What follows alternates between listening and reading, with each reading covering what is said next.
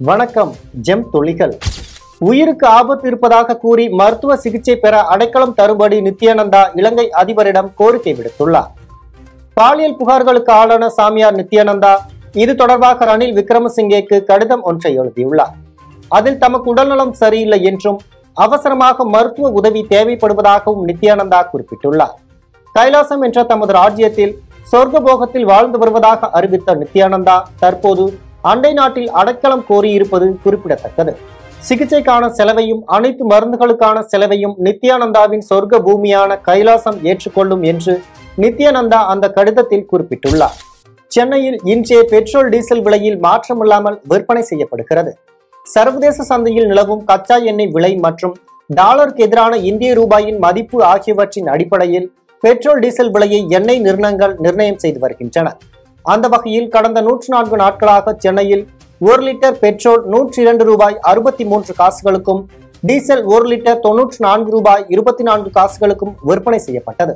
இந்த நிலையில் தொடர்ந்து நூற்றி ஐந்து நாளாக இன்றும் பெட்ரோல் டீசல் விலையில் மாற்றமில்லை இதனால் சென்னையில் ஒரு லிட்டர் பெட்ரோல் நூற்றி இரண்டு ரூபாய் அறுபத்தி மூன்று காசுகளுக்கும் டீசல் ஒரு லிட்டர் தொன்னூற்றி நான்கு ரூபாய் இருபத்தி நான்கு காசுகளுக்கும் விற்பனை செய்யப்பட்டு வருகிறது. லோன் மற்றும் சாட் செயலி மூலம் சுமார் ஐந்து கோடி ரூபாய் வரை மோசடி செய்த நபர்களை போலீசார் அதிரடியாக கைது செய்தனர். லோன் பெற்று திரும்ப செலுத்த தாமதமாகும் போது பொதுமக்கள் மிரட்டப்படும் சம்பவங்கள் நிகழ்ந்ததன் அடிப்படையில் சென்னை பெருநகர காவல்துறை சைபர் காவல் நிலையங்கள் மற்றும் மத்திய குற்றப்பிரிவு சைபர் கிரைம் காவல் நிலையம் ஆகியவற்றில் வழக்குகள் பதிவு செய்யப்பட்டு விசாரணை மேற்கொள்ளப்பட்டது. இதற்கென தனிப்படை அமைக்கப்பட்டு ஆய்வு செய்து லோன் ஆப் மூலம் மோசடியில் ஈடுபட்ட குற்றவாளிகள் நான்கு பேரை காவல்துறையின் தனிப்படை ஒன்று ஹரியானா மாநிலத்தில் கைது செய்தது. மேலும் அவர்களிடமிருந்து எட்டு செல்போன்கள் ஏழு லேப்டாப்கள் பத்தொன்பது சிம் கார்டுகளை போலீசார் பறிமுதல் செய்தனர். அதேபோல் சந்தோஷ்குமார் என்ற நபர் சென்னை கமிஷனர் அலுவலகத்தில் அளித்த புகாரின் பேரில் சைபர் கிரைம் காவல் குழுவினர் கோவா சென்று சாட் செயலி மூலம் பண மோசடியில் ஈடுபட்ட சக்திவேல் மற்றும் பிரியாவை அதிரடியாக கைது செய்தனர். பின்னர் போலீசார் நடத்திய விசாரணையில் இவர்கள் சட்கோரா என்ற செல்போன் செயலி மூலம் இதுபோல் சுமார் பத்துக்கும் மேற்பட்ட நபர்களிடம் பேசி பணத்தை பெற்று மோசடி செய்தது தெரிய வந்தது மேலும் இவர்களை நீதிமன்றத்தில் ஆஜர்படுத்தி போலீசார் சிறையில் அடைத்தனர். இந்த மோசடி வழக்குகளில் சிறப்பாக பணிபுரிந்த குற்றவாளிகளை தேடி சென்று கைது செய்த மத்திய குற்றப்பிரிவு சைபர் கிரைம் மற்றும் ஆவணங்கள் மோசடி புலனாய்வு பிரிவு காவல் அதிகாரிகளை நேரில் வரவழைத்து பாராட்டி சென்னை பெருநகர காவல் ஆணையர் சங்கர் ஜிவால் வெகுமதிகளை வழங்கினார். சாதியை மையமாக வைத்து அதிக படங்கள் வெளியாவதால் தமிழ் சினிமாவுக்கு எந்த பாதிப்பும் இல்லை என்று அது அந்தந்த இயக்குனர்களின் கற்பனை திறனுக்கு கிடைத்த சுதந்திரம் என்றும் நடிகர் ஆர்யா தெரிவித்துள்ளார். நடிகர் ஆர்யா நடித்துள்ள கேப்டன் திரைப்படம் வரும் எட்டாம் தேதி வெளியாகிறது. இதையொட்டி தமிழகத்தில் உள்ள பல்வேறு பகுதிகளுக்கும் நடிகர் ஆர்யா சென்று கேப்டன் திரைப்படத்தின் ட்ரெய்லரை ரசிகர்களுடன் பார்வையிட்டு வருகிறார். இந்த நிலையில் நெல்லை வண்ணாரப்பேட்டையில் அமைந்துள்ள தனியார் பொறியியல் கல்லூரி நிகழ்ச்சியில் நடிகர் ஆர்யா கலந்து கொண்டார். அப்போது நடைபெற்ற மாணவர்களின் கலை நிகழ்ச்சிகளை கண்டு ரசித்தார். நிகழ்ச்சியில் மாணவர்கள் மத்தியில் கேப்டன் படத்தின் ட்ரெய்லர் ஒளிபரப்பப்பட்டது. பின்னர் செய்தியாளர்களை சந்தித்து பேசிய அவர் கேப்டன் திரைப்படம் ஹாலிவுட்டுக்கு இணையாக தயாரிக்கப்பட்டுள்ளது என்றும் குறிப்பாக சூப்பர்மேன் ஸ்பைடர்மேன் போன்று கம்ப்யூட்டர் கிராபிக்ஸ் மற்றும் பல காட்சிகள் உருவாக்கப்பட்டுள்ளது என கூறினார். தொடர்ந்து பேசிய அவர் கடந்த காலங்களில் திரையரங்குகளில் குறைவான காட்சிகள் திரையிடப்பட்டன. தற்போது அதிக காட்சிகள் திரையிடப்படுவதால் நூறு நாட்களில் கிடைக்கும் வருமானம் இரண்டு நாட்களிலேயே கிடைத்து விடுகிறது என நடிகர் ஆர்யா தெரிவித்தார். கேப்டன் வந்து ஒரு ஒரு ஃபர்ஸ்ட் ஒரு க்ரீச்சர் ஃபீச்சர் இந்தியான்னு சொல்லலாம். ஏன்னா ஒரு ஃபுல் ஃப்ளெஜ்டாக ஒரு க்ரீச்சர் வச்சு படம் வந்து பண்ணதில்லை. அது வந்து இப்போ வந்து என்னென்னா இப்போ அதில் ஒரு பெரிய ரிஸ்க் ஃபேக்டர் என்னென்னா இப்போ வந்து நம்ம க்ரீச்சர் ஃபிலிம்னு பார்த்தீங்கனாலே ஹாலிவுட் ஃபிலிம்ஸ் தான் நிறைய இப்போ பார்த்துருப்பாங்க ஈவன் கிட்ஸுக்கு வந்து ரொம்ப ஃபேவரட்டான ஜானர் வந்து இந்த சூப்பர்மேன் ஸ்பைடர்மேன் அதுக்கப்புறம் க்ரீச்சர்ஸ் இந்த மாதிரியான ஜானர் தான் கிட்ஸுக்கெல்லாம் ரொம்ப பிடிக்கும். அண்ட் அவங்க வந்து அந்த லெவலில் பார்த்துட்டாங்க ஒரு க்ரீச்சரை ஸோ அது பெரிய மிகப்பெரிய சேலஞ்ச் என்னென்னா நாம் வந்து நாங்கள் இங்கே எடுக்கிற படம் வந்து அந்த அளவுக்கு பெரிய பட்ஜெட் கிடையாது. பட் ஸ்டில் அது வந்து ஒரு ரீசனாக வச்சுட்டு நம்ம வந்து இல்லைல்ல எங்கள் படம் சின்ன பட்ஜெட்டு அதனால் அந்த க்ரீச்சர் ஹாலிவுட் லெவலுக்கு இருக்காதுன்னு நம்ம போய் எல்லாத்தையும் சொல்லிட்டு இருக்க முடியாது. ஸோ நம்ம இங்கே இருக்கிற ரிசோர்ஸஸ் வச்சு அந்த அளவுக்கு நான் ஒரு குவாலிட்டி கொடுக்க முடியுன்ற ஒரு எஃபர்ட் தான் இந்த ஒரு படம். பட் இந்த படத்தில் வந்து வெறும் அந்த க்ரீச்சர் தான் படமான்னு கேட்டால் அது கிடையாது. அது க்ரீச்சர் வந்து அந்த படத்தில் ஒரு ஒரு யூஎஸ்பி தான் அந்த க்ரீச்சர் ஸோ இப்போ டெடியில் எப்படி ஒரு க கதைக்களம் இருந்ததோ அதே மாதிரி அந்த படத்தில் ஒரு இமோஷன் டெடிக்கே ஒரு இமோஷன் இருந்த மாதிரி இந்த படத்துலேயும் அந்த க்ரீச்சருக்கு வந்து அந்த ஒரு இமோஷன் அந்த ஒரு பாண்டிங் அந்த கேரக்டர்ஸ்குள்ளே இருக்கிற அந்த ஃப்ரெண்ட்ஷிப் பாண்டிங் இமோஷன் எல்லாமே இந்த ஒரு படத்தில் இருக்கும். ஸோ டெஃபினெட்லி ஒரு ஒரு ஒரு நியூ ஜானர் ஒரு ஒரு க்ரியேட்டிவாக ஒரு விஷயம் பண்ணியிருக்கோம். ஒரு அது அது இந்தியனைஸ்டாக பண்ணியிருக்கோம். இந்தியா நம்ம ஒரு தமிழ் தமிழ்நாட்டில் பார்க்கும்போது அது எப்படி ரிசீவ் பண்ணுறோம் அந்த அளவுக்கு நாங்கள் பண்ணியிருக்கோம். So it's a new attempt எல்லாருக்கும் எல்லாரும் ஒரு பெரிய ஹோப்போடு இந்த படம் ரிலீஸ்க்காக வெயிட்டிங் ஸோ ஹோப்ஃபுல்லி uh, எல்லாரும் நல்லா ரிசீவ் பண்ணுவாங்கன்னு நம்புறோம். திருச்சி மண்டல காவல்துறை தலைவர் அலுவலகத்தில் கர்நாடகாவில் அரசு வேலை வாங்கி தருவதாக கூறி பண மோசடியில் ஈடுபட்டவர் மீது புகார் அளித்த சம்பவம் பரபரப்பை ஏற்படுத்தியது. திருச்சி மாவட்டம் லால்குடி பள்ளிவிடை பகுதியைச் சேர்ந்த சுதாகர் என்பவர் காவல் நிலைய தலைவர் அலுவலகத்தில் புகார் மனு ஒன்றை அளித்துள்ளார். அதில் கடந்த இரண்டாயிரத்தி பத்தொன்பதாம் ஆண்டு திண்டுக்கல்லைச் சேர்ந்த அப்துல் ரசித் என்பவர் தன்னிடம் அறிமுகமாகி கர்நாடக மாநிலத்தில் காவல்துறை ரயில்வே துறை மற்றும் அஞ்சல் துறையில் வேலை வாங்கி தருவதாக கூறி பல லட்சம் ரூபாய் மோசடியில் ஈடுபட்டுள்ளதாக தெரிவித்தார். இதையடுத்து கொடுத்த பணத்தை திரும்பி கேட்டபோது பணத்தை தராமல் மிரட்டி வருவதாகவும் புகாரில் தெரிவித்துள்ளார். குன்னூர் அருகே குடியிருப்பு பகுதிகளில் சிறுத்தைகள் புகுந்ததால் அப்பகுதி மக்கள் அச்சமடைந்துள்ளனர். நீலகிரி மாவட்டம் குன்னூர் சுற்றுவட்டார பகுதிகளில் சமீப காலமாக சிறுத்தைகளின் நடமாட்டம் அதிகரித்து காணப்படுகிறது. இதில் குறிப்பாக குடியிருப்பு பகுதிகளில் சிறுத்தை உலா வருவதால் பொதுமக்கள் அச்சமடைந்துள்ளனர். இந்த நிலையில் குன்னூர் அருகேயுள்ள பெரட்டி கிராமத்தில் ராமன் என்பவரது வீட்டிற்குள் இரண்டு சிறுத்தைகள் நடமாடி நோட்டமிடும் காட்சிகள் வீட்டில் பொருத்தப்பட்டிருந்த கண்காணிப்பு கேமராவில் பதிவாகியுள்ளது. இதனால் அப்பகுதி கிராம மக்கள் பீதி அடைந்துள்ளனர். மேலும் வனத்துறையினர் சிறுத்தையை கண்காணித்து கூண்டு வைத்து பிடிக்க வேண்டுமென அவர்கள் கோரிக்கை விடுத்துள்ளனர். கோவையில் கல்லூரி மாணவியிடம் செல்போன் பறிப்பில் ஈடுபட்ட நபரை பொதுமக்கள் துரத்தி பிடித்த சம்பவம் பரபரப்பை ஏற்படுத்தியது. கோவை காந்திபுரம் பேருந்து நிலையம் அருகே கல்லூரி மாணவி ஒருவர் செல்போனில் பேசியபடி சென்று கொண்டிருந்தார். அப்போது வடமாநிலத்தைச் சேர்ந்த வாலிபர் அந்த பெண்ணிடம் செல்போனை பறித்து கொண்டு தப்பி சென்றுள்ளார். இதையடுத்து அந்த பெண் கூச்சலிட்டதால் அருகில் இருந்தவர்கள் அவனை துரத்தி பிடித்து காட்டூர் காவல் நிலையத்தில் ஒப்படைத்தனர். அதனைத் தொடர்ந்து வடமாநில வாலிபர் மீது காவல்துறையினர் வழக்கு பதிவு செய்து விசாரணை நடத்தி வருகின்றனர். சென்னை செங்குன்றம் அருகே தேசிய ஊட்டச்சத்து மாத விழாவையொட்டி இருசக்கர வாகன பேரணி நிகழ்ச்சி நடைபெற்றது. சென்னை அடுத்த செங்குன்றத்தில் சமூக நலன் மற்றும் மகளிர் உரிமைத்துறை ஒருங்கிணைந்த குழந்தைகள் வளர்ச்சி பணிகள் திட்டம் சார்பில் தேசிய ஊட்டச்சத்து மாத பேரணி நிகழ்ச்சி நடைபெற்றது. இந்த நிகழ்ச்சியில் மாதவரம் சட்டமன்ற உறுப்பினர் சுதர்சனம் கலந்து கொண்டு பேரணியின் துவக்க ஜோதியை ஏற்றி வைத்து கொடியசைத்து தொடங்கி வைத்தார். இதில் கர்ப்பிணி பெண்கள் பாலூட்டும் தாய்மார்கள் ஊட்டச்சத்தான உணவுகளை உட்கொள்ள வலியுறுத்தி பதாகைகளை ஏந்தி அங்கன்வாடி பணியாளர்கள் உதவியாளர்கள் என நூறுக்கும் மேற்பட்டோர் இருசக்கர வாகனத்தில் பேரணியாக சென்றனர். மேலும் இந்த பேரணியில் செங்குன்றம் பேரூர் கழக செயலாளர் ராஜேந்திரன் பேரூராட்சி தலைவர் தமிழரசி குமார் துணைத் தலைவர் விப் நாராயணன் மற்றும் குழந்தைகள் வளர்ச்சி திட்ட மேற்பார்வையாளர்கள் சோழவரம் வெள்ளிவாக்கம் குழந்தைகள் வளர்ச்சி திட்ட அலுவலர் உள்ளிட்ட அரசு அலுவலர்கள் பலர் கலந்து கொண்டனர். நெய்வேலியில் அதிமுக பொதுக்குழு செல்லும் என்ற உயர்நீதிமன்ற தீர்ப்பை வரவேற்று அதிமுகவினர் பட்டாசு வெடித்து இனிப்பு வழங்கி கொண்டாடினர். கடலூர் மாவட்டம் நெய்வேலி மந்தாரக்குப்பம் நான்கு முனை சந்திப்பில் அதிமுக ஒன்றிய செயலாளர் சின்ன ரகுராமன் தலைமையில் அதிமுக பொதுக்குழு செல்லும் என உயர்நீதிமன்ற தீர்ப்பை வரவேற்று பட்டாசு வெடித்து கொண்டாடப்பட்டது. இதில் பொதுமக்களுக்கு இனிப்பு வழங்கி மகிழ்ச்சியை வெளிப்படுத்தினர்.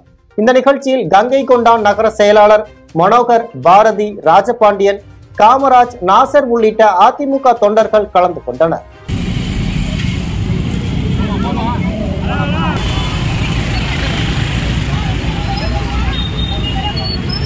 பன்ருட்டியில் இஸ்லாமியர்கள் மற்றும் கிறிஸ்தவர்கள் கலந்து கொண்ட மத நல்லிணக்க விநாயகர் சதுர்த்தி ஊர்வலம் நிகழ்ச்சி நடைபெற்றது. கடலூர் மாவட்டம் பன்ஷூட்டி பகுதியில் உள்ள இஸ்லாமியர்கள் கிறிஸ்தவர்கள் மற்றும் பொதுமக்கள் அனைவரும் ஒன்றிணைந்து மத நல்லிணக்க வரவேற்பு நிகழ்ச்சியை நடத்தினர். விநாயகர் சதுர்த்தியொட்டி நடைபெற்ற ஊர்வலத்தில் அனைத்து மதத்தையும் சேர்ந்தவர்கள் மற்றும் வியாபாரி சங்கத்தினர் உள்ளிட்ட பொதுமக்கள் கலந்து கொண்டனர். இதையடுத்து செட்டிப்பாளையம் அருகில் உள்ள அங்காளம்மன் கோயிலில் இருந்து ஏராளமான விநாயகர் சிலை வாகனங்கள் மூலம் ஊர்வலமாக பன்ருட்டி நகர் பகுதியில் வந்தடைந்தது. அப்போது பேருந்து நிலையம் எதிரில் மத நல்லிணக்க வரவேற்பு நிகழ்ச்சி நடைபெற்றது.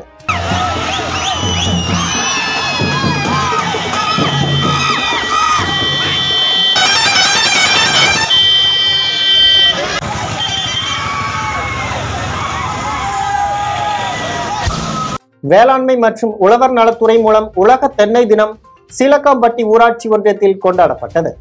பொள்ளாச்சி அடுத்த தெற்கு வட்டாரத்திற்குட்பட்ட சீலக்காம்பட்டி ஊராட்சி ஒன்றிய கிராமத்தில் உலக தென்னை தின விழா கொண்டாடப்பட்டது.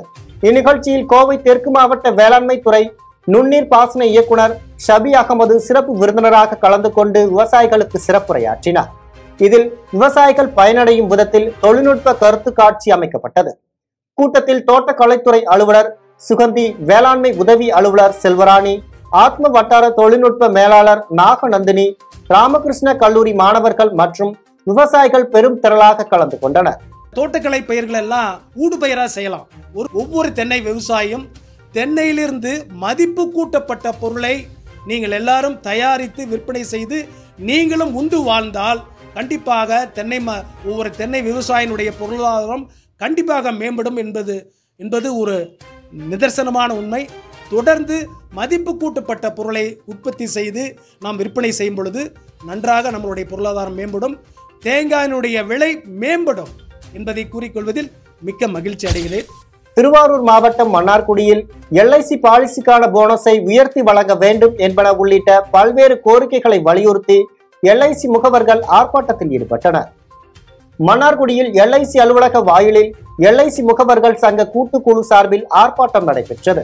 இந்த ஆர்ப்பாட்டத்தில் எல்ஐசி பாலிசிதாரர்களுக்கு போனஸ் உயர்த்தி வழங்க வேண்டும் எனவும் பாலிசி கடனுக்காக வட்டி விகிதத்தை குறைக்க வேண்டும் எனவும் பாலிசி மற்றும் இதர பாலிசியின் சேவை மீதான ஜிஎஸ்டி நீக்க வேண்டும் என உள்ளிட்ட பல்வேறு கோரிக்கைகளை வலியுறுத்தி ஆர்ப்பாட்டம் நடைபெற்றது.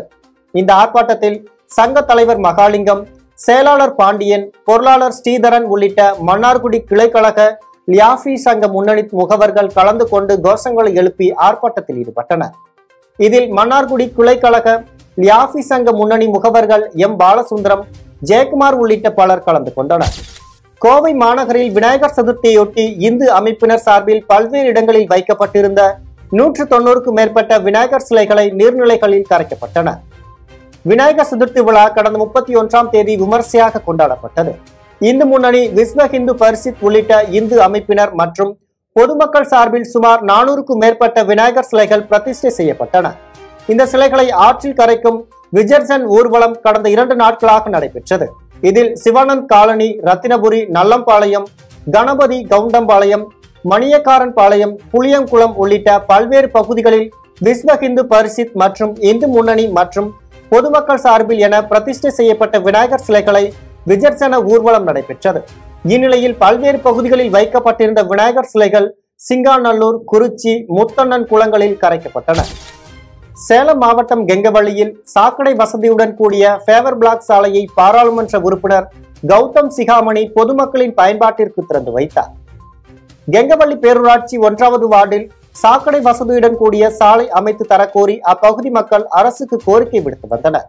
இதையடுத்து கள்ளக்குறிச்சி பாராளுமன்ற உறுப்பினர் கௌதம் சிகாமணி அவர்களின் நிதியில் இருந்து சுமார் எட்டு லட்சத்தி எழுபதாயிரம் மதிப்பீட்டில் புதிதாக சாக்கடை வசதியுடன் கூடிய ஃபேவர் பிளாக் கற்கள் மூலம் சாலை அமைக்கப்பட்டது. இதனைத் தொடர்ந்து பொதுமக்களின் பயன்பாட்டிற்காக கள்ளக்குறிச்சி பாராளுமன்ற உறுப்பினர் புதிதாக அமைக்கப்பட்ட சாலையை திறந்து வைத்தார். மற்றும் இல்லந்தோறும் இளைஞரணி உறுப்பினர் சேர்க்கையும் தொடங்கி வைத்தார். இந்நிகழ்ச்சியில் சேலம் கிழக்கு மாவட்ட பொறுப்பாளர் சிவலிங்கம் முன்னாள் எம்எல்ஏ சின்னதுரை பேரூர் கழக செயலாளர் பாலமுருகன் பேரூராட்சி தலைவர் லோகாம்பால் உள்ளிட்ட திமுக கழக நிர்வாகிகளும் தொண்டர்களும் பலர் கலந்து கொண்டனர். பிரதமரின் அனைவருக்கும் வீடு திட்டத்தின் கீழ் வீடு வாங்கி தருவதாக கூறி பண மோசடி செய்த நபர் மீது சென்னை மாவட்ட ஆட்சியரிடம் புகார் மனு அளிக்கப்பட்டது. சென்னை திருவொற்றியூரில் சென்னை நண்பர்கள் மாற்றுத்திறனாளிகள் நல சங்கத்தின் ஆனந்தகுமார் என்பவர் பிரதமரின் அனைவருக்கும் வீடு என்ற திட்டத்தின் கீழ் வீடு வாங்கி தருவதாக நூற்றுக்கும் மேற்பட்டவரிடம் சுமார் இருபதாயிரம் வாங்கியதாக கூறப்படுகிறது. இந்நிலையில் இதுவரையிலும் வீடு வாங்கி தரவில்லை என மாற்றுத்திறனாளிகள் சென்னை மாவட்ட ஆட்சியரிடம் மனு கொடுத்துள்ளனர். புகாரின் பேரில் காவல் ஆய்வாளர் காதர் மீரா தகுந்த நடவடிக்கை எடுப்பதாக வாக்குறுதி அளித்ததன் பேரில் மாற்றுத்திறனாளிகள் கலைந்து சென்றனர். அதிமுக பொதுக்குழு கூட்டம் செல்லும் என தீர்ப்பு வந்ததை அடுத்து திருவாடனை மற்றும் தொண்டியில் நூற்றுக்கும் மேற்பட்ட அதிமுகவினர் பட்டாசுகள் வெடித்தும் இனிப்பு வழங்கியும் கொண்டாடினர். பொதுக்குழுவில் இடைக்கால பொதுச் செயலாளர் எடப்பாடி பழனிசாமி தேர்ந்தெடுக்கப்பட்டது செல்லும் என உயர்நீதிமன்றம் தீர்ப்பு வழங்கியுள்ளது. இதைத் தொடர்ந்து ராமநாதபுரம் மாவட்டம் திருவாடனையில் அகில உலக எம்ஜிஆர் மன்ற துணை செயலாளர் கே சி ஆணிமுத்து தலைமையில் ஒன்றிய செயலாளர் மதிவாணன் உட்பட முப்பதற்கும் மேற்பட்டோர் பட்டாசுகள் வெடித்து இனிப்புகள் வழங்கி கொண்டாடினர். இதைத் தொடர்ந்து தொண்டி புதிய பேருந்து நிலையம் அருகே பேரூர் கழக செயலாளர் காளிதாஸ் தலைமையில் அதிமுக கவுன்சிலர் செல்வி ராமகிருஷ்ணன் பன்னிரெண்டாவது வார்டு அதிமுக கவுன்சிலர் பார்த்திபன் உட்பட நாற்பதற்கும் மேற்பட்டோர் கலந்து கொண்டு பட்டாசுகள் வெடித்தும் இனிப்புகள் வழங்கியும் கொண்டாடினர்.